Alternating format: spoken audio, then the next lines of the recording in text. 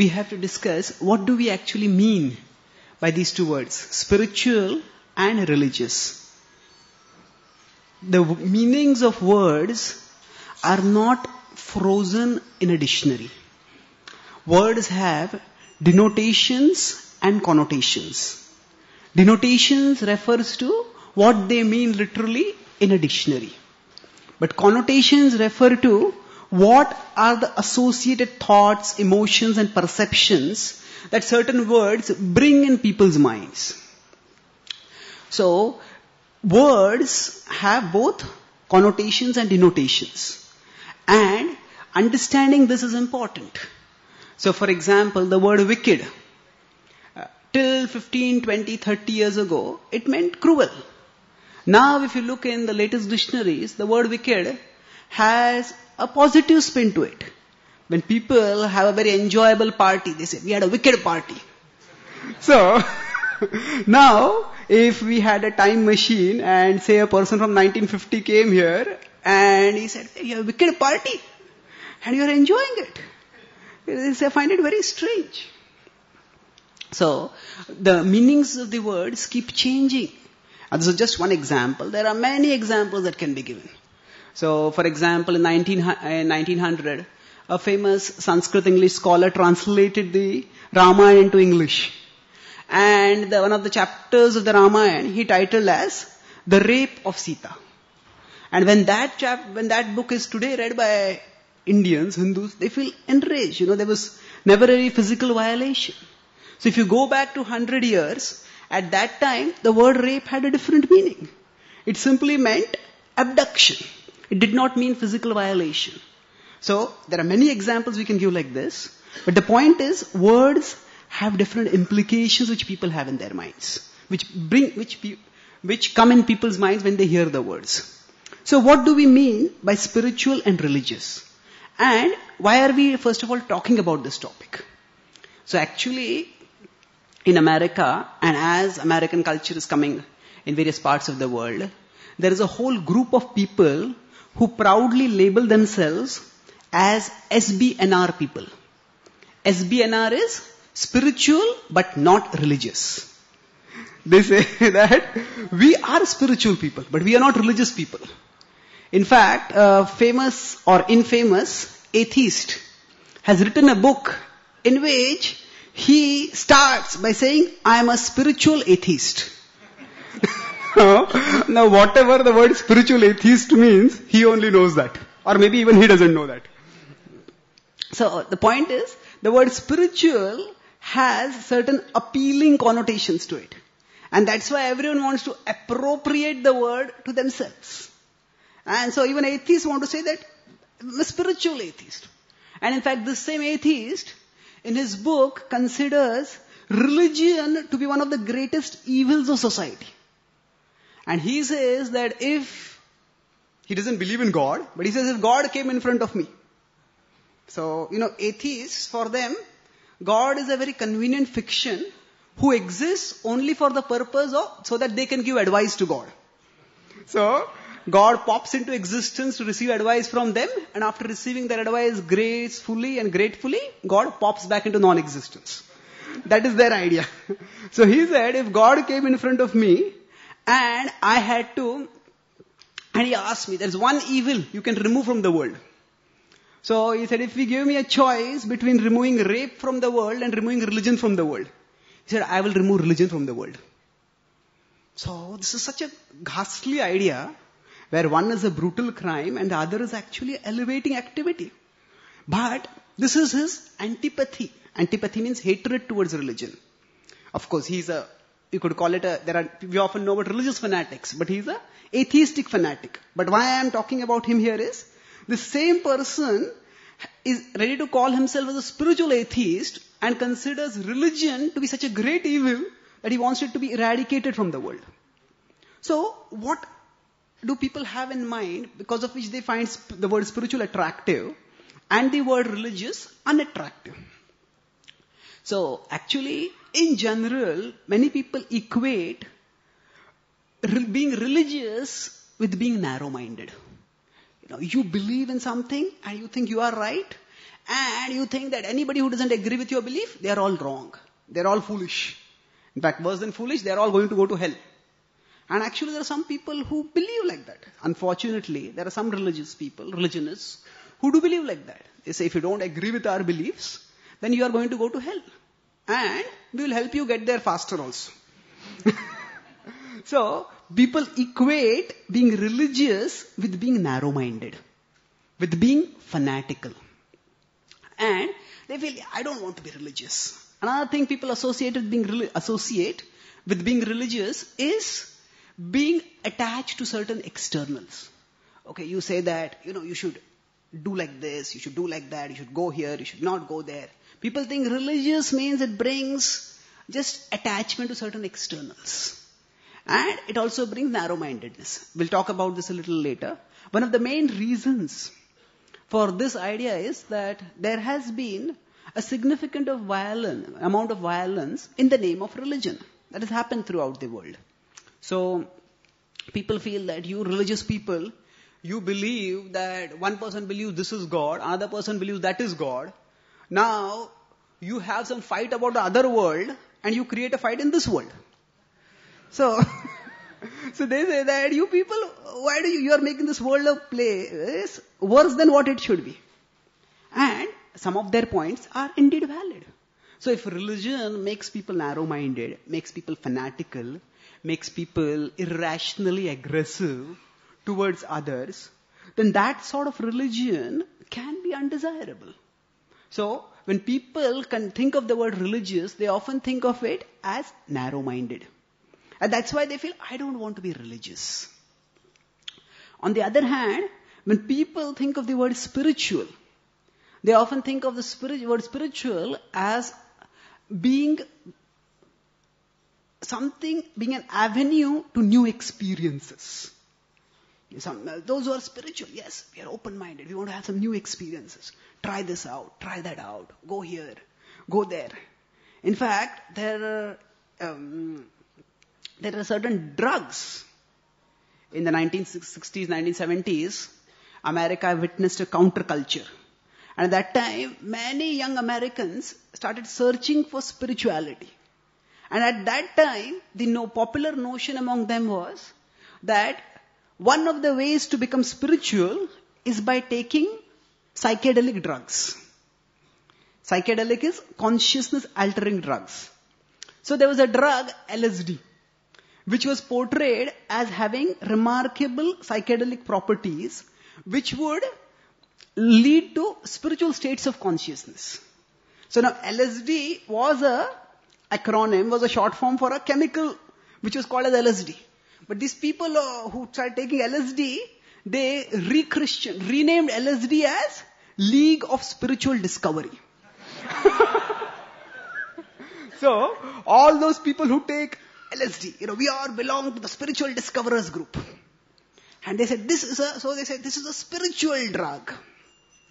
So, anything, people think that which will give us some new experiences. That is spiritual. So,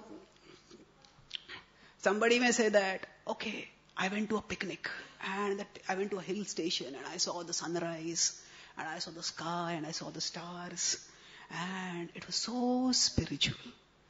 So, people's idea of being spiritual is simply the idea that something which makes you feel good, makes you feel peaceful, makes you feel something new, that they call as spiritual. So now, who will not want something like that? So if spiritual is as vague, as vague as just feeling good, feeling new, feeling nice, then who will not want that? So people say, yes, we want to be spiritual. And that's, and that is what even atheists want. So they say, yes, I'm a spiritual atheist. So what is, so the idea of spiritual simply means a feel good kind of experience which has no ideological or philosophical implication and which has no uh, lifestyle obligation. That means you don't have to believe anything, you don't have to do anything, you just experience. Now, this idea of being spiritual, So now I have discussed about two things over here. By spiritual, if we just mean being open-minded, and by religious, if we mean being uh, close-minded, then certainly you know, we all would like to be spiritual and not religious. But are these the only meanings of spiritual and religious? Actually, if we look at the uh, Vedic scriptures, they explain spirituality not just in terms of some dogmas. Dogmas means some beliefs. So the, these people, some of those people who are opposed to religion, they say that actually being religious means what? You only have to do three things. Pay, pray, obey. What is it? You come and pay, give some donation in the temple or the mosque or the church or the synagogue. Then go and there is some God. You don't even know who that God is, but that doesn't matter. You just pray to Him. And then, whatever you are told, obey. So, people think religion means pay, pray, obey. So now, this sort of thing doesn't appeal to thoughtful, intelligent people. You know? People think that this sort of religion is something which I don't want to have anything to do with. But the Vedic scriptures describe that actually spiritual is definitely an experience, but it is a state of consciousness that we can steadily experience. It is not just a one time experience that we can have. Spiritual is a state of consciousness that can be steadily there. And religion is the process by which we can experience that spiritual state of consciousness. So repeat, spiritual is what? It's a state of consciousness. It's an experience, but not just a, a one-time experience. It's a state of awareness. It's a state of consciousness that can be always there with us. And religion is meant to be a process by which we can rise to that spiritual level of consciousness. And significantly, it is not that there has to be only one way to rise to that level of consciousness.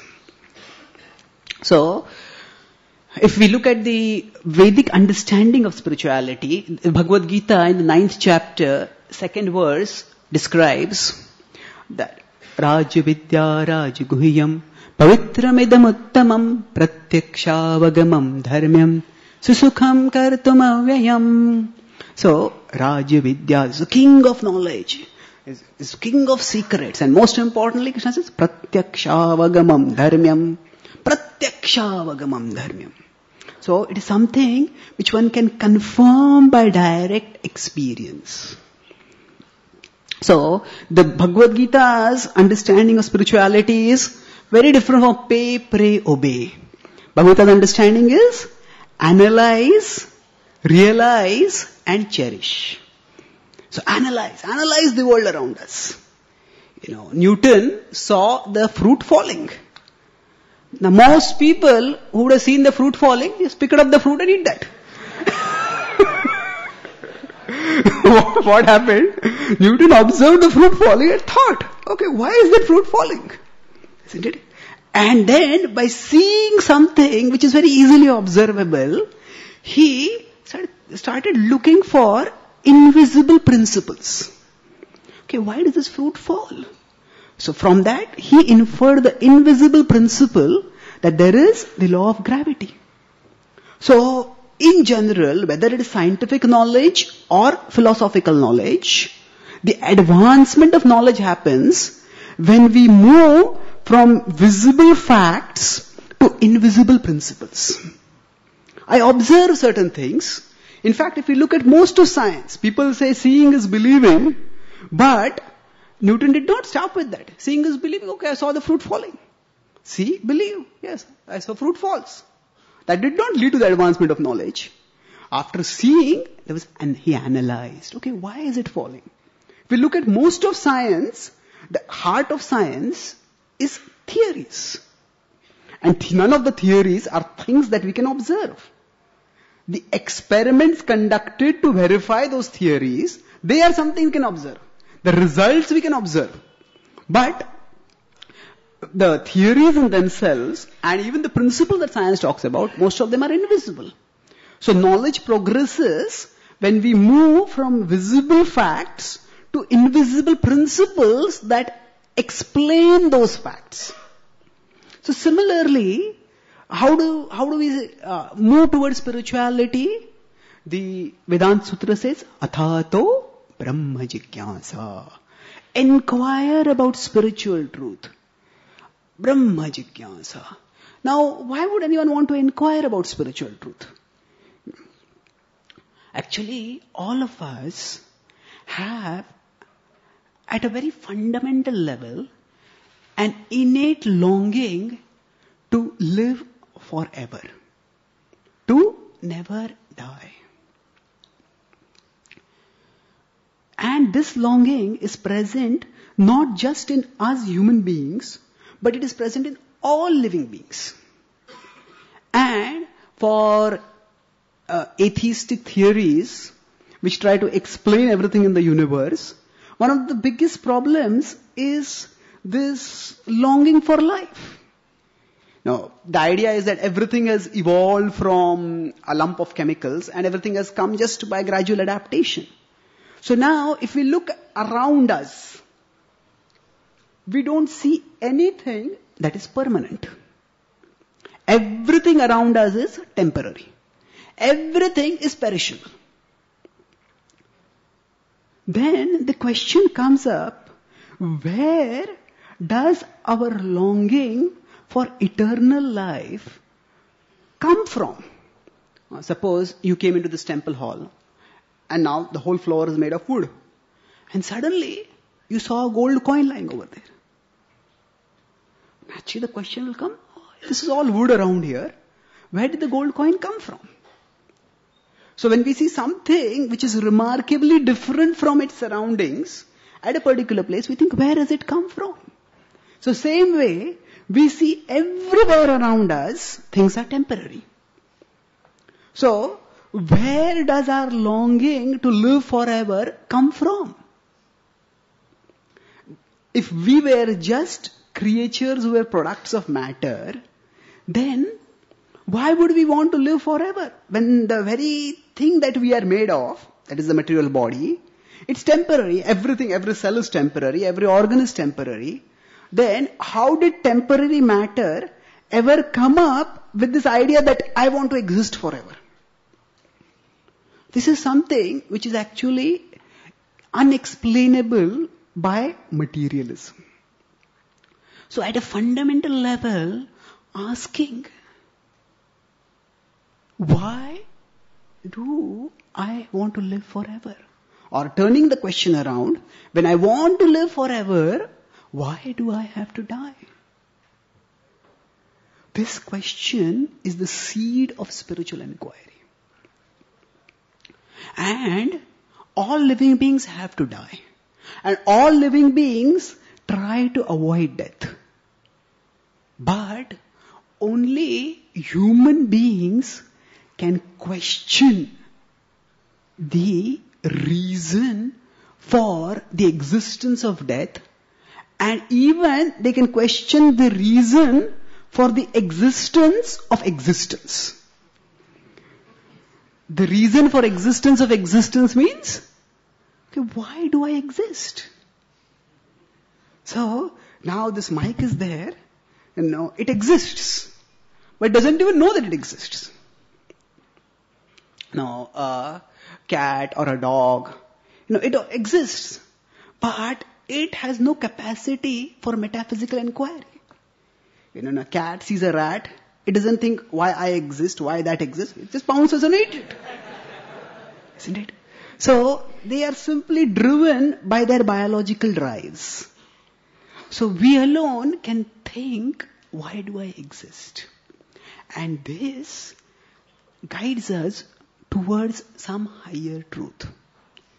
If everything around me is temporary and yet I have a desire to exist forever, that means there must be a part of me which exists forever.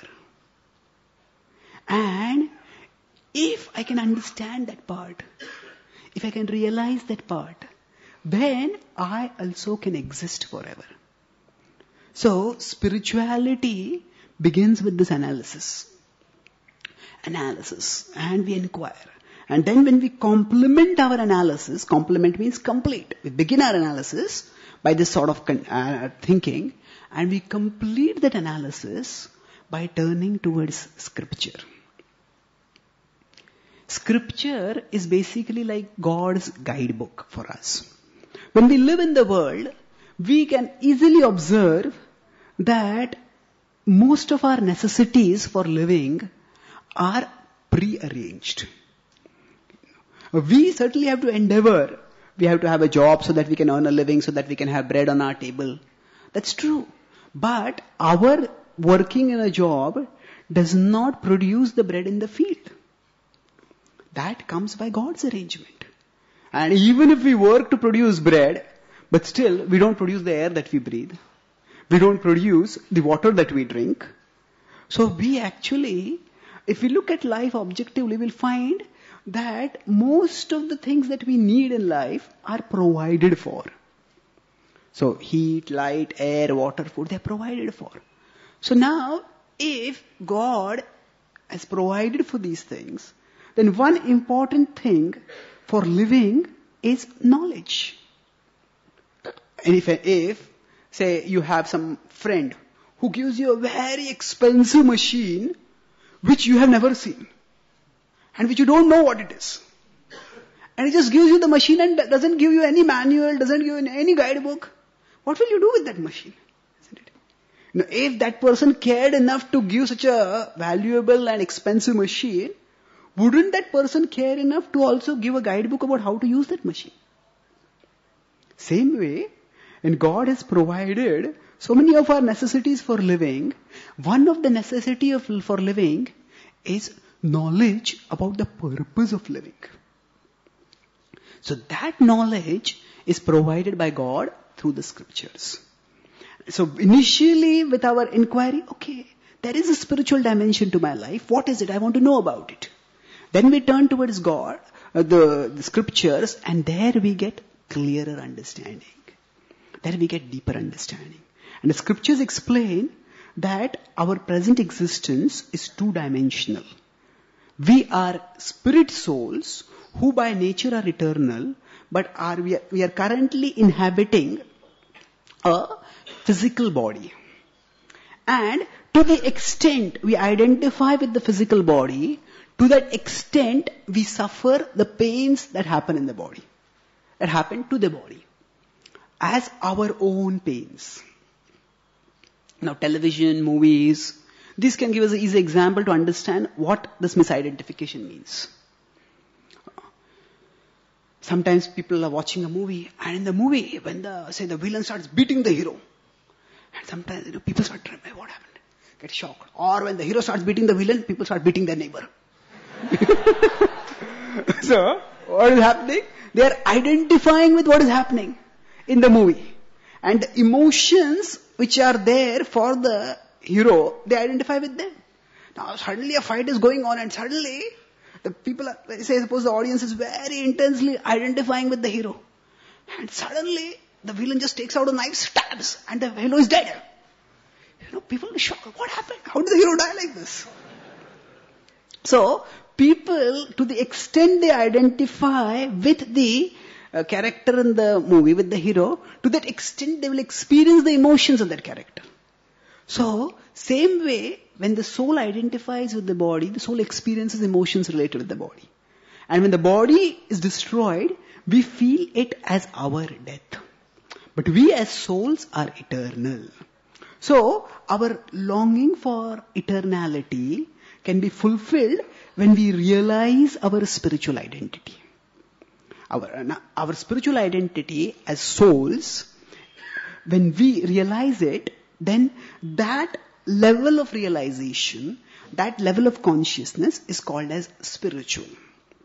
So, the word spiritual refers to understanding ourselves as soul and understanding our relationship with God, of whom we are parts, and then understanding our relationship with all living beings through that divine relationship.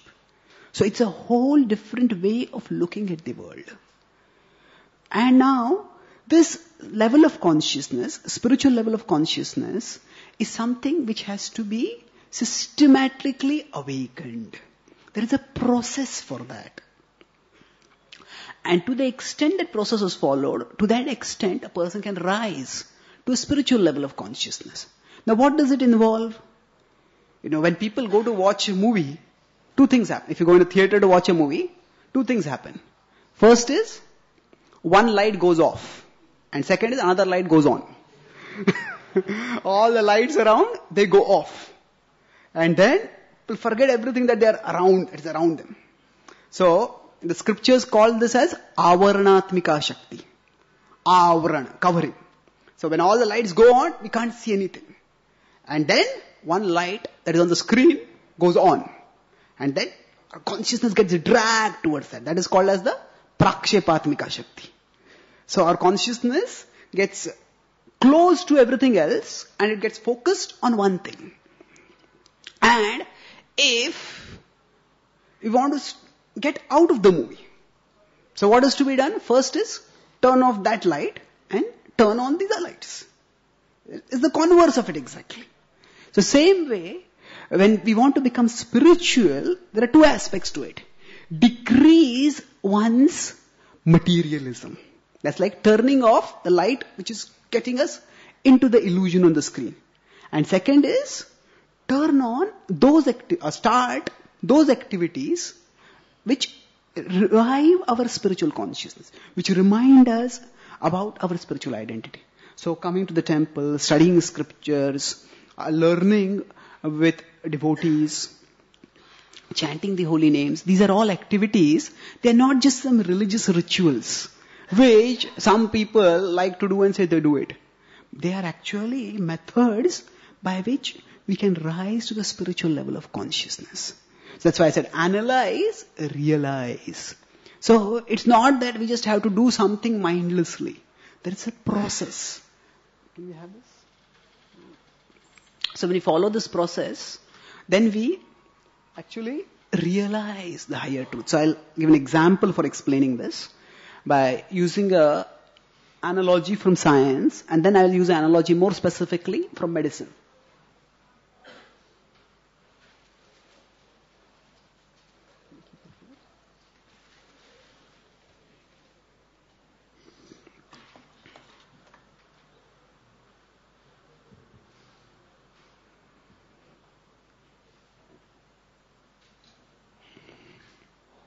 Spirituality is like a science.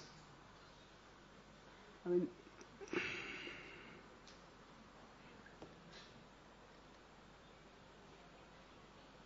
okay. So science,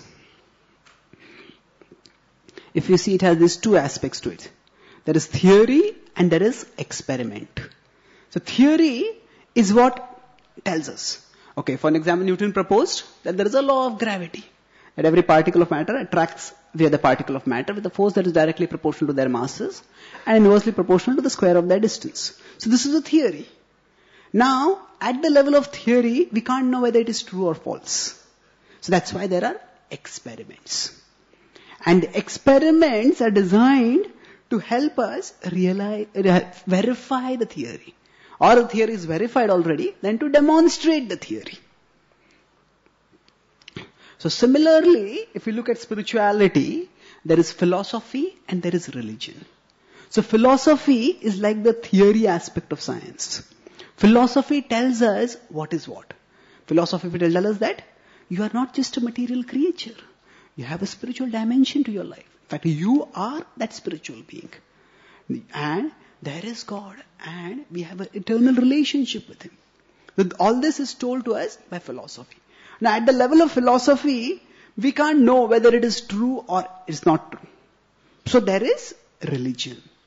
So religion is like the experiment aspect of science.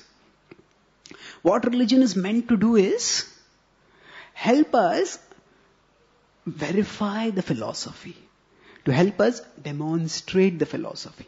So for example, if the philosophy tells us that you know, we are souls and we will get real happiness by eh, learning to love and serve God. Then religion offers us means by which we can actually love God. So religion, for example, now when we chant the holy names. So what is the purpose of chanting the holy names?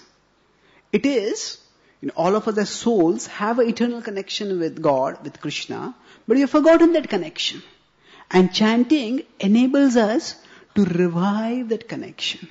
And thereby we re-experience the higher spiritual happiness that is actually our nature. So religion enables us to verify whatever the philosophy has taught.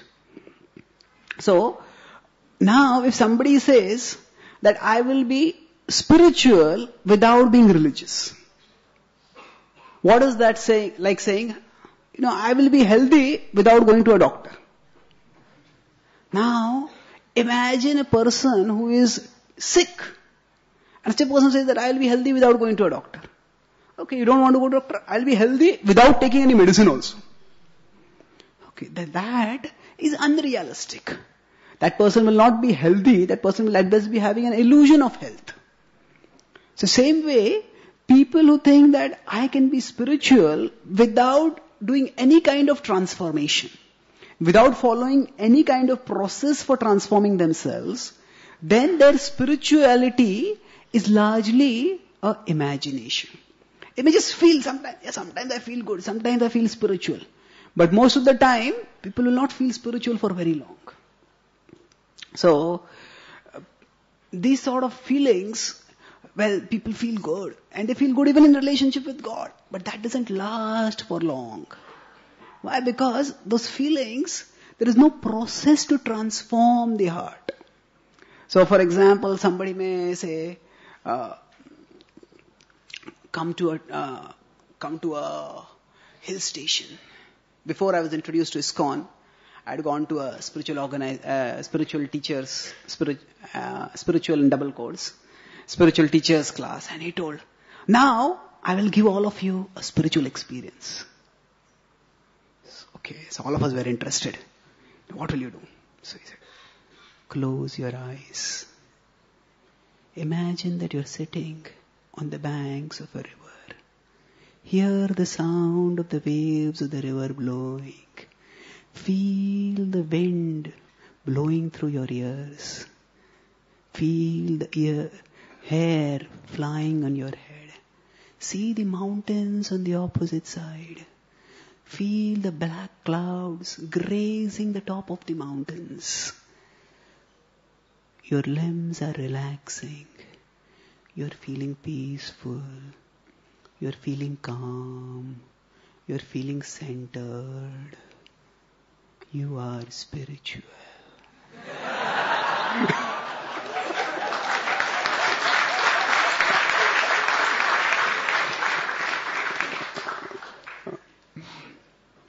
so now, now, some people may actually feel good also.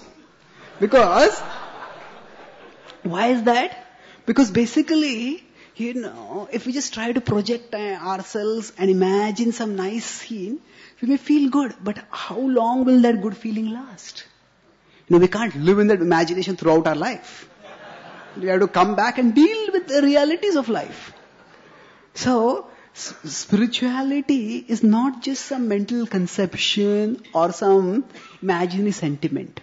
It's actually when we connect with a higher reality, then the spiritual experience becomes tangible, it becomes real. If there is a boat on an ocean, and, and the ocean waves are going to come constantly, and those waves will cause the boat to shake. And the bigger the waves, the greater the shaking. Now, how can that boat stop shaking? It has to connect itself something larger, something thicker, something bigger. The boat is anchored. Then the waves may come, but the anchor will ensure that the boat will shake lesser and lesser and lesser. So same way, we are like that boat. And this world is like an ocean. The Vedic scriptures compare this boat to a bhava, this world to a bhava sagar, the ocean of material existence. And here there are waves of dualities. There is honor and dishonor. There is pleasure and pain. There is success and failure. You know, in one World Cup, India is the World Cup champion. The next World Cup, India doesn't qualify also for the next rounds. So, these things happen. Is how there are dualities. You know, in one World Cup, a cricketer gets the Player of the Series award. In the next World Cup, that player is labeled as the Villain of the Series award. you know, these are the dualities which happen in this world. So when these happen, what do we do? We all will experience them at a smaller or greater scale. And we can't, just as you can't imagine when the ocean's waves are coming, oh, the ocean is calm, ocean is peaceful. It will not work. We need to connect ourselves. So that anchor with which we can connect is God.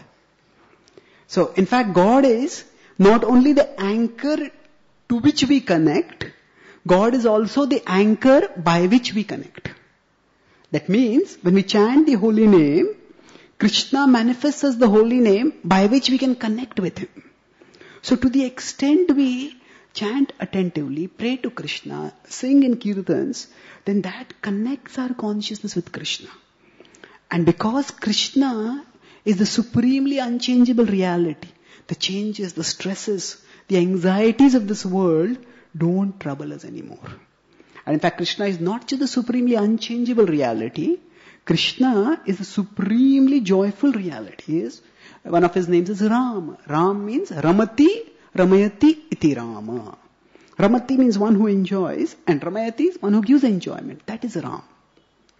So when we connect with him, we experience higher happiness. So spiritual, religious is the means, the method by which we become spiritual. And the Vedic scriptures do recognize that there doesn't have to be only one method by which people can become spiritual. There are different religions. And God Himself has given different paths. One of the great uh, Vaishnava teachers, Srila Bhaktivinoda Thakur, you see him on the altar, he explains that because of difference in his book Chaitanya Shikshamrit, he says five factors that because of which there are differences in different religions. There are differences in the prophets specifically who come and give God's message. There are differences in the mentalities of people uh, to whom that message is given. There are differences in the cultural and social atmospheres where that message is given. There are differences in language and there are differences in understandings which are passed over over generations. So like that, this is the whole subject. Why there are differences. But he says that essentially it is the one message of God that is passed down through the various religions of the world. So God is not the monopoly of any religion. God and God's wisdom is the common grace or for is the common inheritance, common legacy for all of humanity. And now some religions may in their current expressions be more open-minded and some may be less open-minded. That varies depending on how those religions are understood and how those religions are presented. When Srila Prabhupada went all over the world in his advanced age sharing Krishna consciousness with people all over the world, he actually presented a very broad-minded understanding. When Christian priests came to him and they asked him, you know, what are your thoughts about Jesus? So Prabhupada said, Jesus is our Guru. They were surprised, Guru. He says, how is this? You know, he had so much love for God that he was ready to lay down his life for the service of God. Such love of God is extraordinary. One who has such love of God is actually our Guru. So, and Prabhupada asked, then is what you are teaching the same as what Jesus taught? Prabhupada said, essentially it's the same. Then, why have you come to teach us? Prabhupada said, because you have forgotten it.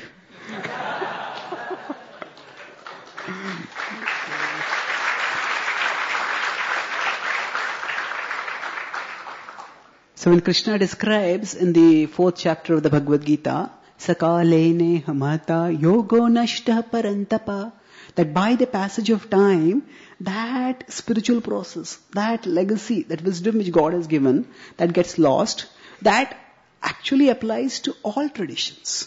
Now, it can apply to the Vedic tradition, it can apply to the uh, Christian tradition, it can apply to the Muslim tradition, it can apply to Jewish tradition, that by the power of time, things decline, things get distorted. So that's why there has to be a periodic revival, resurgence. And when there is a deeper contemplation, then there is proper understanding. Otherwise, when people are simply religious, then they think this is my way and that is your way. And both of us are on two opposite ways. So it's like, you know, imagine, uh, I'll give one more example, then I'll conclude, and then we can have question answers. Suppose, uh, if we look at spiritual and material as states of consciousness, states of being. So religion is the process by which I can rise from the material state of being to the spiritual state of being. So now the material state of being is like the diseased state of being. It is, why is it considered deceased? Because at this level, we have to suffer death. And we have to suffer so many problems because of the anxieties of this world. The spiritual state is like the healthy state. So, now, just as in the world also, if a person is sick and a person wants to get healthy, there can be different therapies that can cure the person. Some people can take allopathy, some will take naturopathy, some will take homeopathy, some will take ayurveda. There are different treatments. Now, the important thing is, about a treatment is, whether it cures the person. Isn't it? Imagine if one particular medical uh, stream, it says, you know, our way is the only way. And because we are right, so what we will do is, we will destroy all other doctors. Allopathy is the only right way, so we'll destroy Ayurvedic clinics. We will kill Ayurvedic doctors. You know, this is fanaticism. But, so, the, what is the test is? If by following a particular process, a person gets cured or not. If a person actually becomes detached from undesirable material things. Now there are many things which are undesirable even from material point of view. Now people become intoxicated and when they become intoxicated, what happens? You know, they just waste their money so much. Now, Russia, USSR was the, uh, one of the countries in the world where atheism was tried on a nationwide scale. And Russia, USSR was the biggest country in the world. So, uh, officially, religion was persecuted and religious practitioners were executed. So in such a situation, what happened? With no capacity, no facility for experiencing anything higher. What would people do? You know, they have to get some, some kind of relief from the emptiness and the boredom of life. So, and most of USSR was poor, so they would just drink vodka. You know, they would drink and drink. So there was, when Russia started getting, uh, when perestroika started and USSR, the communist regime started disintegrating, now there was a propaganda uh, flyer that was made. So, you know, what was the state of the people over there? No, so the government, in order to bolster its economy, would periodically increase the price of vodka. So, you know, the fa- father is there in the family, and the uh, son, they, they come to know that the price of vodka has increased. So the son asks his father, Father, will you drink less now? The father says, No, you will eat less now. So, this is so tragic. So, actually, people are so desperate for something higher that, you know, they, they, may even deprive others, even their own loved ones of their necessity so that they can get some higher experience. Now, actually, whatever alcohol and things like that, they give some high experience, but after that they cause so many, so much trouble. So these are the, so alcoholism or, or smoking or things like that, these are even materially undesirable. And when people are too materially attached to it, they hurt themselves, they hurt others. So if one is becoming spiritual, these at least these materially undesirable things should go away. One should break, be able to break free from these things. If somebody says, I am a spiritualist, and that person is addicted to alcohol, addicted to drugs, and addicted to so many things, materialistic, and then how can you really give credence to that person's being spiritual? So, we can't have just sentimentally saying that oh, whatever you believe is spiritual is spiritual. See, one extreme, as I said, is narrow-mindedness, where suppose a Ayurvedic clinic, as allopathic clinic person says that all other clinics should be destroyed. Radha Gopinath ki. The other extreme is to be open-minded. Okay, you know, every building is a hospital. No, every idea is a pathy. Some pathy it is. Some kind of treatment it is. We have to be open-minded, but we can't be so open-minded that our brain falls out. Isn't it? If people think that by anything is spiritual, then what will happen? Nobody will actually be spiritual. Because nobody will be following a process of transformation by which people can become spiritual. So, there is an objective criteria. Bhakti pareshanubhava viraktir anyatra cha. The Bhagavatam says that where there is genuine spiritual experience, there is bhakti, then what happens? There are two characteristics. There is one internal characteristic and one external characteristic. The internal characteristic is para isha anubhav. One experiences God. Para Isha. Isha is God. Para is one who is transcendental. He cannot be experienced in any other way, but he's experienced through devotion. And when he's experienced in this way, what happens? Viraktiranyatracha. One becomes detached from other experiences. The experience of God is so fulfilling that one doesn't need other uh, titillating or even destructive material experiences. So the, so the inner symptom is that we are experiencing God. The outer system is we don't crave for sensual, worldly experiences. And in this way, this is actual spirituality. That we rise to a higher level of consciousness where we find happiness within ourselves, in our connection with God. Srila Prabhupada gave a simple definition. Who is a spiritualist? One who finds happiness internally. And but who is a materialist? One who seeks happiness externally. So, we focus on becoming spiritual and religion is a means by which we can become spiritual. So by practicing religion, it should make us spiritual. It should not make us narrow-minded. And so, literally speaking, is it possible to be spiritual without being religious? Actually speaking, if we mean by being spiritual, open-minded, religious, close-minded, yes, we all want to be spiritual, but not religious. But practically speaking, this is summary of the class now. We discussed that. Spiritual means it's a state of consciousness. And that has to be attained. And religion is the process by which it is to be attained. If people forget the purpose of religion to rise to a spiritual level of consciousness, then religion can become a tool for just sentimental blind belief. It can become a tool for intolerance and violence also. We discussed that version of religion is what? Pay, pray, obey. There's not much contemplation involved. But the Vedic scripture describe religion as what? Analyze, realize, and cherish. Analyze. Okay, we discussed. Where do I get my longing to be immortal come from in a world which is mortal? And then we turn towards scripture. God has provided everything for living. Will He not provide knowledge for living? And then we learn about our spiritual identity and we learn a process by which we can rise to that spiritual level. And we discussed about how if you're too caught up in a movie, the way to come out is switch off the movie and then turn on the other lights. Like that, detach ourselves from material things and attach ourselves to spiritual things. And this happens organically as one grows. And then we discussed about how there is a process for doing this. So in, in spirituality, there is philosophy and there is religion. So philosophy is like the theory aspect of science. Religion is like the experiment aspect. Um, and then lastly, we discussed about how when we talk about medicine, there is a healthy state and there is a sick state. And there can be many ways to move from the sick state to the healthy state. But it's not that anything that one does, it will make one healthy. One has to check whether one is becoming healthy or not. So similarly, there can be many religions which are revealed by God according to time, place, circumstance. The test is whether one is becoming spiritual or not.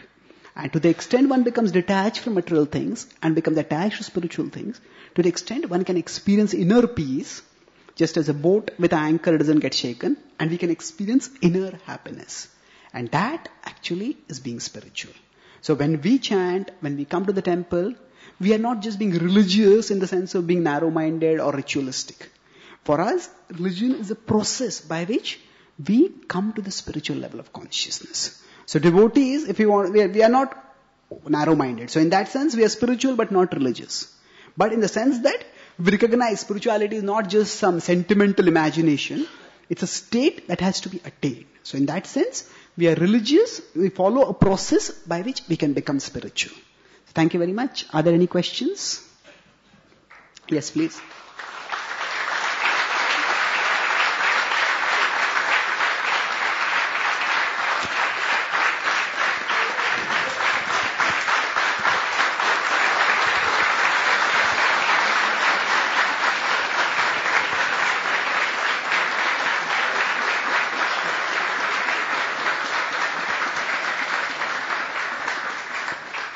Yes, Hare Krishna Prabhu, Dandavat Pranam. Yes. So, firstly, thank you very much for the wonderful discourse. And also for the spiritualscientist.com, it is really helpful in all ways. And I have a question like I was uh, reading the book Idol Worship or Ideal Worship. So in that, in that uh, you said like um, if idol is so dirty and if, I mean, God cannot come into the idol, so it again overlaps the feature of God's omnipotence. And uh, again, I have a doubt like uh, when similarly a non-devotee chants, so it becomes, uh, we say like, uh, uh, it is corrupted, I mean, uh, when non, when we listen Mahamantra or uh, from the mouth of a non-devotee, uh, it becomes poisonous. So how does we equate this thing? Okay. So your question is, if God is omnipotent, then, and yet we say that we shouldn't hear the chanting of the holy names or we shouldn't hear Krishna Katha from a non-devotee because that becomes contaminated. So how can some human beings uh, contamination affect God's sound? Actually, it is not God who is affected, it is what is coming to us is affected. It's just like there can be a huge dam with unlimited amount of water. But if there is one hole through which it is coming out, one pipe through which it's coming out, and then that pipe is contaminated, then it's not that the full dam is contaminated, but the water that will come out from that pipe is contaminated. So same way, God is pure. But when a particular human being speaks about God, but that person has uh, a self-centered understanding, that that person say things that I am God. I'm just giving an extreme example. There was a spiritual teacher who said that, you know, I have not come to tell you that you should worship God. I, I, there are other teachers who came to say that. There are uh, there's, there are some other teachers who said that I am God. I have not even come to tell you that. He says, I have come to tell you that you are God.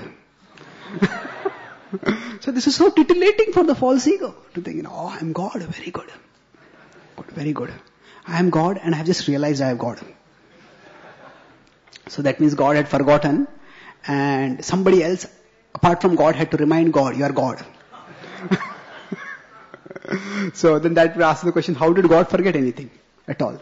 So the simple point is that it is not that God is contaminated ever, but what comes to us, because it is coming through a particular channel, that which comes to us gets contaminated.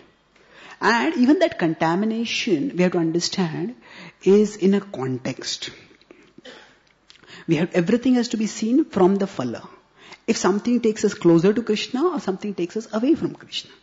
So for example, if somebody has never heard anything about Krishna and then somebody sees, uh, say a movie about Krishna or some picture about Krishna, and that may have been prepared by a non-devotee. But if that creates a curiosity, what is this Krishna? What is this Bhagavad I want to find out. And that, that brings a person closer to Krishna. That is good. But this is talked about especially for those who are already serious seekers of Krishna. For them, the primary focus is to try to purify their consciousness further. And then, uh, if we hear from those who are pure or those who are aspiring to be pure, then that pure consciousness comes to us further. But if we hear from others, then what happens is Krishna is omnipotent. But the channels contamination comes not on Krishna, but on what is coming to us. So that is uh, the uh, for especially for serious seekers, they should be selective about whom they hear from because that will depend, determine how much they become purified or not. See, it is said for the initial stages, anyway you think of Krishna that is good. Yena kena prakarena mana Krishna nivesha. Somehow or other remember Krishna. But as we advance, it is said that yes, we should remember Krishna, but in a way that pleases him. You Krishnanushilanam Bhaktiruttama. Bhakti is, it is that which pleases Krishna. So there are stages. So initially it is to, uh, initially any way a person comes to know about Krishna that may be good. But for serious seekers, we want to come to know about Krishna in a way which actually takes us closer to Krishna. Does that answer your question? Yes. Yes, there behind. Okay.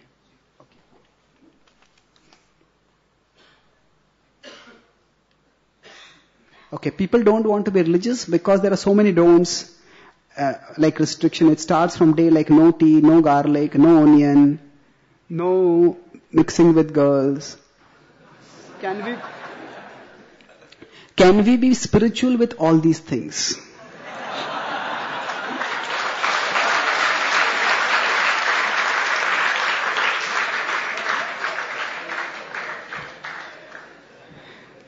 The focus in spirituality,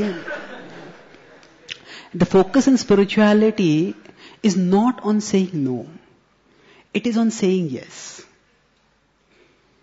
Suppose a person wants to become a champion cricketer. Now, if we want excellence in any field, there has to be a focus that borders on the fanatical. Somebody says, I want to be a cricketer. Today I will play cricket. Tomorrow I'll play football. Day after tomorrow I'll play hockey. Next day I will play chess. Next day I'll play carom. And after one year I'll become a champion cricketer. It's not going to work. You know, even in material life, if we want to achieve excellence in something, we have to focus on that thing. And if the person wants to become a good cricketer, is that person thinking, oh, I can't play football, I can't play tennis, I can't play carom, I can't play chess.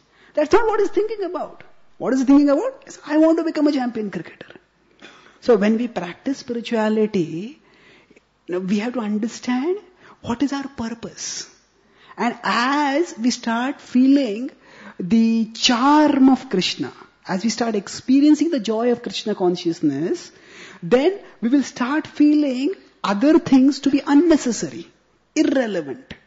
So we should, if we are initially starting spirituality, we shouldn't worry too much about what I have to give up. Rather, we can ask the question, there are so many young people just like me. What are they getting that they are ready to give up all these things? Just turn the question around. You know, why would, if you meet with spiritual people, if you meet with devotees, you know, if you talk with them, there is, you will find that most of what they say does make sense. So you will see these people are intelligent if they are giving up, they are saying no to so many things, why are they saying no? There, there must be something that they are getting because of which they're saying no to these things. They're able to say no to these things. So we can try to inquire what that is. And once we get a taste for that, then saying no to those things will happen organically. So uh, we shouldn't bother too much about what all I'll have to give up. Our focus should be what all I will get. The whole process of bhakti is not of saying no. It is of saying yes. When we say yes to Krishna, the Krishnetara, things other than Krishna, they move aside. And it is not that as devotees, for as uh, people who are considering practice of devotion, it is not that the no's are of primary importance. Although first appearance it may seem like that. Okay, you have to give up this, you have to give up this, you have to give up that. No. The focus is we experience Krishna. And as I said, when we experience Krishna, we feel many things as unnecessary. And actually speaking, when you talk about many of the things which are talking about no tea and things like that, now many of these things are not even materially desirable. You know, tea, you know, it may be some sort of stimulant, but if you look at it from a long-term point of view, it is not really very good for health. In many ways, it is known to be harmful. And as far as, say, relationship with the opposite sex is concerned, it is not that that is to be rejected. No, there is a proper way to do that. And yes, you can have a, you can get married and there is grahastha ashram. But today's culture, where there's free mixing, actually even materially, there may be some titillation, some enjoyment. But it leads to so much complication. Last time when I had given prerna, I had quoted uh, a book from a book called American Paradox by an American sociologist. And he said, you know, where is this culture of freedom? You know, anybody can do whatever you want. You, know, you can have a relationship with anyone, eat anything, drink anything, all this. Where does it lead to? So actually just recent history of America, from 1940s onwards to 2000. If you look at America, what has happened?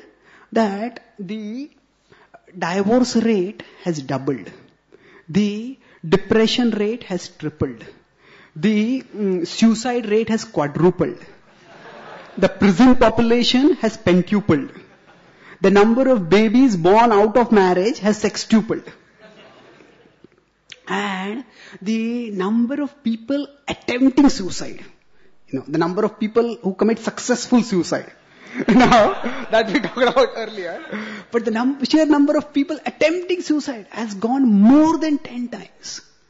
So this whole idea of freedom, freedom, it actually doesn't lead to freedom. You know, we have only one idea of freedom. See, there, is, there are two kinds of freedom.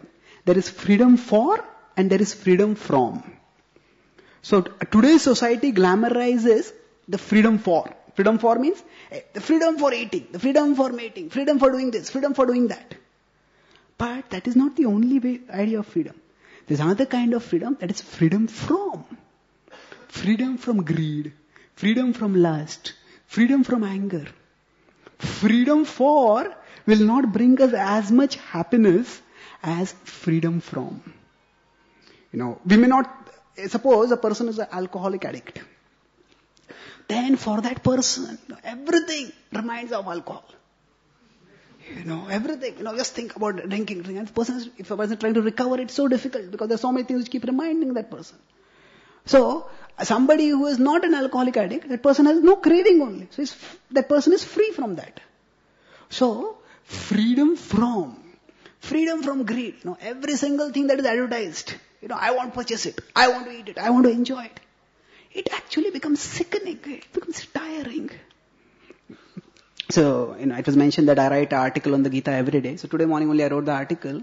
Those who make pleasure the purpose of their life, make their life purposeless.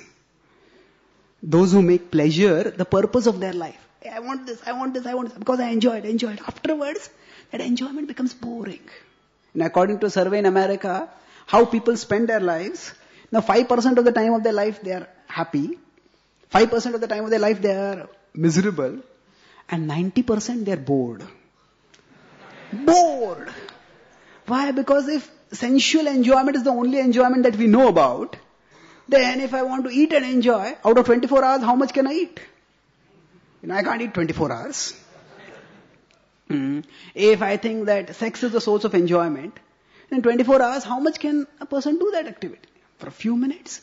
And when I, when, if that kind of enjoyment is the only idea of enjoyment that we have, when we don't have that enjoyment, then what is there left? Life is boring. So there are more refined ways of getting happiness. And freedom for is not the only way of freedom. Spirituality talks about freedom from. When we are free from lust, when we are free from greed, when we are free from anger, then we can connect with Krishna internally and we can experience higher happiness. So don't worry about what you have to give up. Think what others are getting and you are missing because of which they are giving up all these things. And be eager to explore that. Any other questions? Yeah.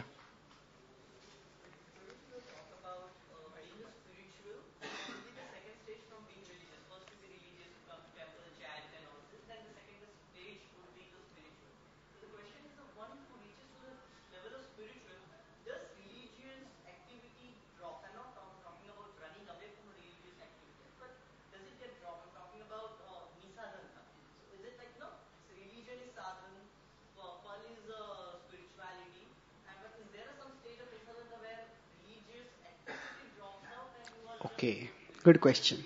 So if religion is the means to become spiritual, then is there a time when we will be religious we will become spiritual and so we won't need religion anymore. Not exactly, because when we become spiritual, what is, as it means spiritual? Actually, spiritual is a relationship. The, so, as souls, we have a relationship with God, with Krishna. And that relationship is active, it's dynamic, it's ever flowing. And in that relationship, we act. So, right now, we may chant the holy names because as it is a sadhana, it will purify us. But as we become purified, then the holy name is the way we express our love for Krishna. And the holy name is the way by which we experience Krishna's love for us. So at that level, it will be a way by which we reciprocate love. So go back to the medicine or um, health metaphor. You know, initially religion is like the sadhana. It's like the medicine that we take. But it is so wonderful that as we become cured, we realize that what we were treating as a medicine is actually the most relishable nectar. So then we take it not because the doctor has prescribed it, then we take it because we enjoy it. So it's not that we go beyond religious activities. It's just that our motivation for doing religious activities changes. We, we do them because we spontaneously like to do them. We have a loving relationship with Krishna and that's why we do those activities. So there are some other conceptions of spirituality where people think that, you know, religion is just like a tool. You practice religion and then when you become God, then you give up religion. But the Bhagavad Gita tells us we never become God. We are parts of God. And to recognize that we are parts, to realize that we are parts, hmm, then that is what we do by religion. And then we actually get the lasting fulfillment and then we do that because of love for Krishna. So there is fear, desire, duty and love. So the religious activities can be done because of fear. Oh, God will punish me, so I should do it. Desire. Maybe God will pass me in my exam, so let me come to the temple. Me desire. There's duty. I understand I have a relationship with God, let me serve Him. And then there is love. So, when we come to the level of love, it's a way to express our relationship with Him. That's why we do those activities. So, it's not that we go beyond religion.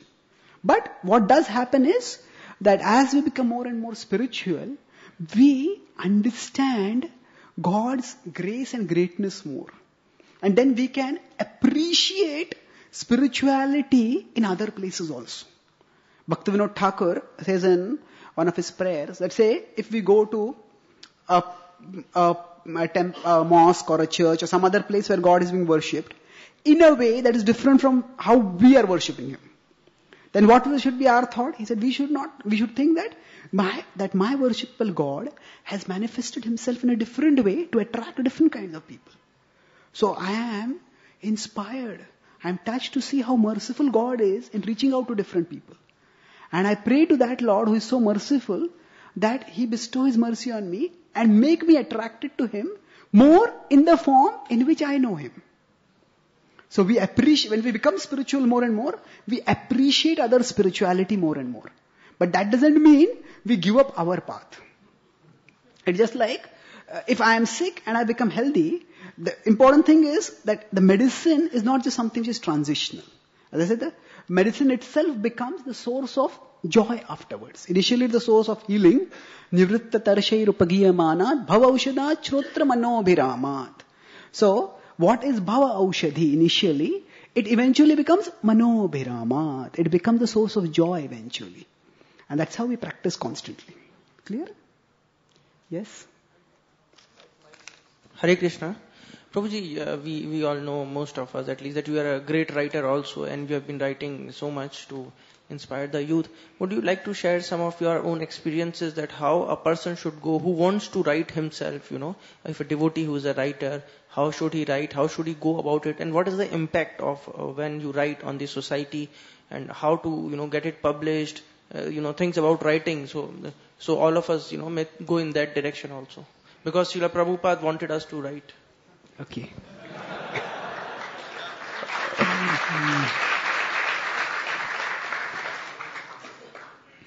so, I appreciate the question. At the same time, I feel that those who aspire to be writers will be in a microscopic minority over here. So I will just answer it very briefly. And I'm planning to do a, a writing course online. How devotees can write. In the next two, three months I'll be doing that. So if you visit my site, you'll come to know about it. But briefly, writing is basically talking on paper. It's not something which is mysterious. It is just talking on paper. So, especially with the interactivity that has come up because of the internet, that talking has become easier. That is good and bad also. It is bad because anybody can talk anything and can go everywhere in the world. And there can be so much uh, uh, meaningless uh, gossip that can spread. But can be good because we can reach to people and we can get, uh, we can share Krishna's message. We can have interactions much more easily. So I would say first point is to demystify writing. It is simply conversation on paper. Second point is that writing is much more difficult than a normal conversation because we can't see the people whom we are writing to. So therefore, whatever potential misunderstandings they may have, whatever doubts they may have, all those we have to anticipate, address and deal with. That's why it has to be done much more carefully. And as far as reaching out is concerned, as far as, so how to write, why to write, uh, I have written a full article on my website, Five Reasons to Write in Devotional Service. It's called the acronym WRITE, W-R-I-T-E. Write, W is worship. We can worship Krishna with words who are writing. R is reflection. We can contemplate and realize things better. I is introspection. We can do it for our own inner search, for inner realization. T is therapy. Our writing can help us to heal ourselves. And E is explanation. We can explain uh, Krishna's message to others. So I won't go into this, all this in detail, but suffice it to say that it's a very powerful way in which we can reach out to a large number of people. So through my writing, you know, I have connected with people all over the world. There are devotees in, or potential devotees in Russia, in Australia, in America. You know, they write mails to me, I answer their questions, they suggest topics for writing. So I feel we can create a virtual community of spiritual seekers and we can serve them through writing. So Bhaktivinoda Thakur did that in his times. No, at that time there was no internet, but that time the printing press had just come. So he actually had a whole community of devo- devotees through his magazines. So every magazine article that he would write, you know, that's how many people would be spiritually nourished. So we can actually uh, receive Krishna as we have received from our senior devotees and share it with others. And that's how we can utilize, dovetail this writing in Krishna's service. And writing is actually a very intense form of remembrance of Krishna. Because at that time, it's very difficult. As Prabhupada says in one lecture, that in one letter to Satsvarup Maharaj, that words are the best way to save us from forgetting Krishna. Because when we have to write, we have to think very carefully about our words. So he said, therefore, he said, in fact, he recommended all devotees to write. He said, one sentence, two sentence, write something, what you realize about Krishna. Writing a personal diary can help us to make, uh, take stock of our spiritual advancement. Sometimes when we feel very irritated, very depressed, we want someone to share our heart with. And if there's no one, we just write it in a diary. And find our mind will calm down. And then we can look back. Okay, what did I write? Why did I feel like that? I got so disturbed at that time. There's no need to go so disturbed. So for our own healing, as well as for sharing Krishna with others, writing can be a valuable tool. Okay. Any other questions? Why is it that one religion conflicts completely with other religions to a path of devotion to God, like killing animals in name of God, beefeating, etc. Actually, it is not that one religion conflicts another. It is that that which is contextual is assumed, mistaken to be universal. That is contextual means that which is told at a particular place, at a particular time, if that is absolutized and made universal for everyone, then that is what leads to conflicts. So if you see certain religions, they start developed in desert areas where grains were not there. So that's why meat was allowed. In fact, meat was also recommended. But if we look deep within even those religions, for example, if we talk about Islam, you know, I have some friends who are, we have like an interfaith conference. So I have a, a Muslim friend who is a vegetarian. And he's written a full book about how there are so many references in the Quran, then in the uh, subsequent writings of the Muslim scholars and saints that, you know, where it is possible one should show compassion and avoid meat eating. Uh, be vegetarian. But what was told at that context, at that particular time, it is absolutized. Now even as far as beef eating is concerned, it is not like an absolute principle within that religion. It is, there are so many countries in the world, if you go to Malaysia, Indonesia, or even the Middle East, you know, there are, there are many places where there are no cows available. So there is, so actually, most, there are people do not necessarily slaughter cows and eat beef. So is it that all the places all over the world where people are not killing cows, they cannot be Muslims? No, somehow there has been a lot of uh, misleading and exploitation of people, along with, of course, misunderstanding of the root scripture, because of which religious propaganda, because of which uh, communal feelings have been uh, triggered. And if there is a calmer, saner discussion, these sort of uh, misunderstandings can be resolved. So there are definitely differences in religions. Just as I said, there are differences between different therapies, between Ayurveda, allopathy. But the important point is that their purpose is similar. And different religions may be less or more useful at different times in fulfilling their purpose. So as devotees, we focus on practicing ourselves and sharing what we have got with others. And as we raise ourselves to a higher level of consciousness, know, we can help others also so to see things from a higher perspective and then we can avoid conflicts. Play our part in avoiding conflicts. Is any other questions? Proji. Yeah. Actually, it is with relation to this particular question actually. So, as uh, we know that there are different religions with different conception of their followings. So, can this religions, different religion can survive and exist in same premises? Actually, can different religions survive in the same premises? It depends on who is practicing it and why they are practicing it. So, you know, in every religion, there are narrow-minded people and there are broad-minded people. So the important point is, you know, it's not necessary also that all religions have to agree on everything. But it's important to recognize that there are truths which are valid and people have found them meaningful. See, there are, there are two extremes. You know, some people just demonize other religions. You know, all other religions are bad. And others try to romanticize, you know, all of us will all religions stay happily together. You know, actually, there are so many other divisions. You know, there's division based on race, there's division based on nationality, there is division based on state. Uh, so there are so many divisions like that. And how often do people with all these divisions always live cordially? It's not necessary that they will live cordially. So we don't necessarily have to emphasize cordial living among different religious communities. What we should emphasize is spiritual living. So the more people become spiritual, more they will be able to live cordially. So our focus, when Srila Prabhupada was asked about this, you know, he said that what we should focus on is on raising our own consciousness. And in principle, yes, if the different religious practitioners understand that our purpose is ultimately to love God, and God can offer Himself in different ways, then it's possible for them to live cordially. But we shouldn't worry about what is not in our power. What is in our power is to transform ourselves, to elevate ourselves, and to share the method by which others can elevate themselves. So if we can do that, then overall we contribute to raising the consciousness of humanity. And you know, there are three modes. There is, you know, there is goodness, there is passion, there is ignorance.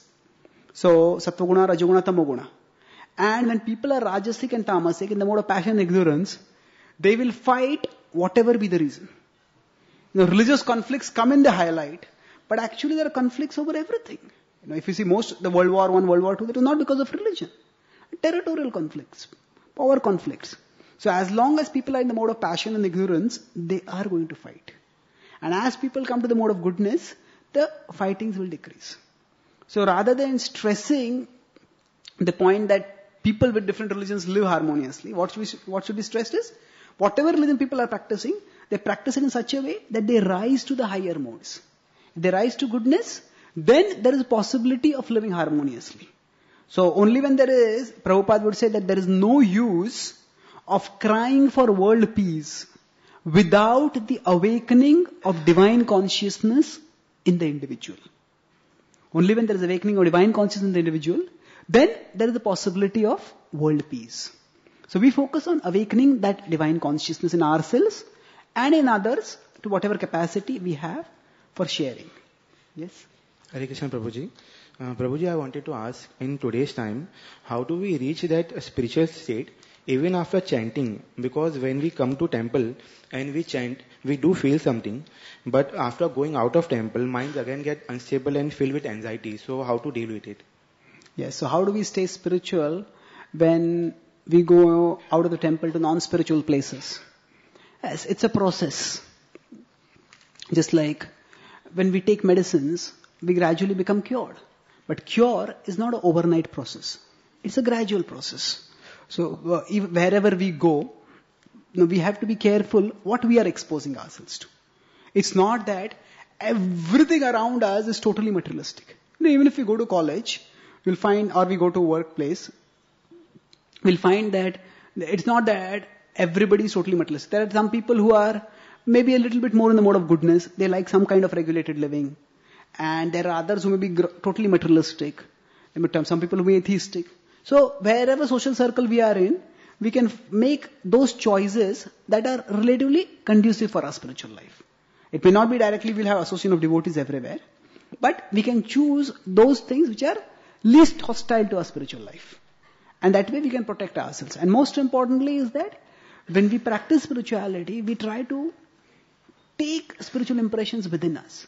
We chant intensely, we study the scriptures intensely, and understand those principles. And as we understand them more and more, then wherever we go, we'll be able to carry that presence with us. It's, it's a gradual thing. And you know, we expect some, the growth to be sudden and rapid. But it is a gradual growth. You know, simply the fact that we are asking this question itself indicates that our values have changed. Indicate that we are valuing spirituality and we're concerned about how we can protect our spirituality. This was not the case a few months ago or a few years ago. So that indicates a, a, a spiritual advancement in one sense. So focus on trying to take wholehearted association and wholehearted Krishna conscious impressions while we are in spiritual environment. And then we have to go to material environment, then choose that sort of circumstance, that sort of friend circle, which is least anti-spiritual. And that way we can continue in a spiritually healthy way. Okay? Yes? Hare Krishna Prabhu. Uh, being elections round in the corner, there are many political leaders who use religion for their vote bank politics. And also there are many spiritual leaders who sometimes come out in support of such political leaders. So being living in such a society when we are pursuing Krishna consciousness, so uh, what is the best way to strive in such a environment? especially in, in, the society like India, where are you know so many people, even in Hindus or even in you know in devotee circle, we may find some people who may be politically inclined with some leaders. But as as you said, the sole objective of spiritualism is to get connected with Krishna, and religion is the purpose for that.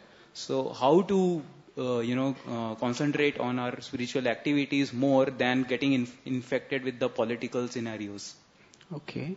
So when there is politically surcharged environments because of elections, and should devotees get involved in it, or how can we stay uh, uh, unaffected by it? Spirituality is not just about rejecting the world. It is about connecting the world with Krishna also. So, at one level we can say we are unconcerned about society, but at another level, we have to live in the society also. So, the, if the society is governed by forces that are anti-spiritual, uh, uh, that is going to affect us adversely. So, if we can be a part, we can contribute in some way towards creating a socio-political, socio-cultural environment that is less hostile to spirituality, that is more uh, receptive to spirituality, then we can do our part. But that will vary upon uh, vary with individual to individual. so some devotees, if they already have a lot of interest in politics and they had political aspirations, it's not that because they are devotees, they have to give it up. But they can, they can consider that this is what I'm doing. Uh, I'll try to do it in such a way that, okay, I'll see if there are certain political parties which are, we're not concerned with one party or another party, we're concerned with values. So if one party supports values that are more spiritual, another party supports values that are less spiritual, then our support will be for the values. And then accordingly, we can support a particular party or a particular set of values and whichever party supports that values. But if uh, some devotees feel, okay, this is, this is never my interest, then there's no need for me to get interested in it. So the important thing is that we recognize that devotees are not just socially unconscious or socially oblivious of the social realities. I mean, there are countries in the world where there are governments which do not allow the practice of devotional service at all. So, uh, there, you cannot be indifferent to the government. If in India in the future such a government comes up, it will be difficult for us to practice also. So we cannot say that, oh, we are not concerned with the government at all. There are many places where government is concerned about us. Isn't it? In fact, the devo- in, when the communism was in its last days in USSR, so the, the last head of KGB, he said, you know, that these Hare Krishnas, he said American music, American culture and Hare Krishnas, these are three threats to communism. So, so they were concerned. So we shouldn't have to be too worried about it. But we are not unconcerned in the sense that we are irresponsible. So it will depend on individual inclination. Those who feel inspired that, okay, through politics we can make a change, we can do that. Srila Prabhupada was not averse to that. But uh, he said that it's not necessary for all devotees. In America and Australia, Prabhupada inspired devotees to start a political party. They called it In God We Trust Party. And Prabhupada said that you talk about the principles of God consciousness. So, he was not averse to that. But at the same time, it's not that he said, oh devotees, there's no need to chant and dance. All of you start a political party and enter politics. No, those devotees who already had that interest, they approached Prabhupada. Prabhupada said, yes, do it. So, bhakti is not about suppressing our own interests or our own natures, especially if they are not anti-devotional entirely. But it's not that we have to deliberately get involved when we had no interest in it. So if we have interest, dovetail that. Answer your question? Yes. Okay. Mm. Okay. In the era of mass deception, when most government political systems are endorsing atheism, and we are socially and culturally for God, and we are socially and culturally forced into materialism, then how do we focus on spirituality or religion? Actually, yes, this is the age of materialism, but there is the relief which is provided by Krishna So this is Kali Yuga, beyond whatever political, socio-cultural situations are there, whatever media is there, is Kali Yuga. And Kali Yuga is the age of materialism. That's what the scriptures themselves tell. But, as if there are rains, we may not be able to stop the rains, but we can have an umbrella. And by that umbrella, we can protect ourselves. So the process of bhakti yoga, and especially the process of chanting of the holy names, is like the umbrella, which can protect, by which we can protect ourselves. So we focus not so much on what the world is doing. You know, what is happening in the world is not as important as what is happening in our heart. So if we are convinced that yes, I want to practice spirituality, then no matter how difficult the circumstances, we can practice and by our example, we can inspire others to practice. Like I was telling about uh, the go- Russian, go- uh, the Soviet government opposing. You know, there were devotees who were persecuted, who were tortured, who were um, physically maimed, mentally um, harassed, but still they kept practicing devotional service. And this is not something which happened only in Russia. The Bhagavatam talks about it. Prahlad Maharaj, you know, Hiranyakashipu was such a materialist, isn't it? And in fact, you know, he had not only control over the media, he had control over the universe. isn't it? But even in that environment, Prahlad Maharaj was practicing Krishna uh, bhakti. And what happened? He inspired others to practice also. So, we have to remember that beyond all our social realities is the spiritual reality of Krishna. And Krishna will never put us in a situation where we can't practice spiritual life. He will never make it impossible for us to practice spiritual life. But it may not always be possible for us to practice spiritual life in the way we would like to practice. So, we'll have to find out in different situations, we can practice in different ways. Just as a river always moves towards the ocean, like that, we find out new ways to move towards Krishna. We improvise.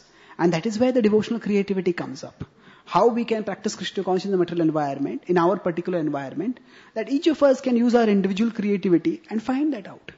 And in fact, that can make our own devotional life also adventurous. It can make it exciting and fulfilling. How, in my particular environment, how can I remember Krishna? How can I serve Krishna? You know, Yudhishthir Maharaj, he had to fight a war. And by fighting the war, he became the world emperor and then he glorified Krishna thereof. He did not think, oh, I, what do I get into the business of fighting a war and establishing and defeating so many people? I'll just uh, be happy remembering Krishna. No, no, he got involved, but through that he glorified Krishna. So each of us, if we have the desire to glorify Krishna, Krishna will guide us. And we'll find out ways in which, even in situations where nobody seems to be interested, we'll find out some people are interested. And then through that, not only will our spirituality be protected, but we will be able to share spirituality with so many other people. I'll conclude with just one story. Probably many of you know about it. Some other preachers may have told about it. There was one uh, devotee who was in a hostel. And he thought, oh, this hostel is filled with all materialistic people. So if I chant, people will laugh at me. So every morning he would wake up and he would chant secretly under his blanket. You know? And as he's chanting under his blanket, and then one day he saw some suspicious movement on his room partner's bed. And he's wondering, what is this happening? And he observed first day, second day, third day. He saw that this, this person also seems to be awake. And after several days, one day just his curiosity got the better of him. Just went there and took off the blanket. And that person was also a devotee. He was chanting secretly, thinking this person would laugh.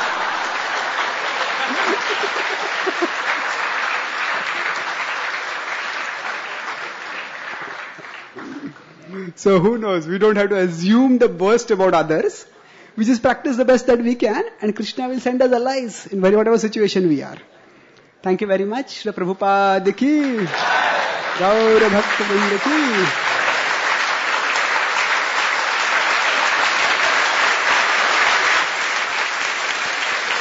Hare Krishna. So, we'd like to thank uh, His Grace Chaitanya Charan Prabhu for taking out his valuable time for spending such on such an important topic. I was just feeling that many of us were religious but without being spiritual. Today, Prabhuji has balanced those who are spiritual and not religious. So both both he has joined. So let us thank His Grace Chaitanya Charan by loudly chanting